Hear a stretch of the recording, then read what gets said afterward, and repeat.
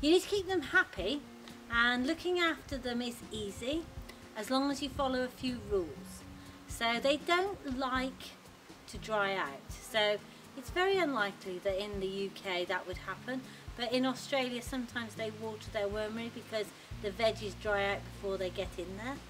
They don't like to be um, have too acidic conditions. Um, so if you were putting in lots and lots of onions and really citric fruit all the time, that would cause a problem. But you can balance it out by using a bit of lime mix. So this is um, made of calcified lime, not garden lime, uh, and will balance out your wormery. And they don't like too much, um, they like a bit of fibre. So your worm treat will add a bit of fibre in there.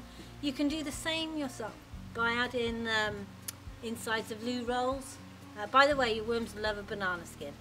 And their favourites are coffee grounds.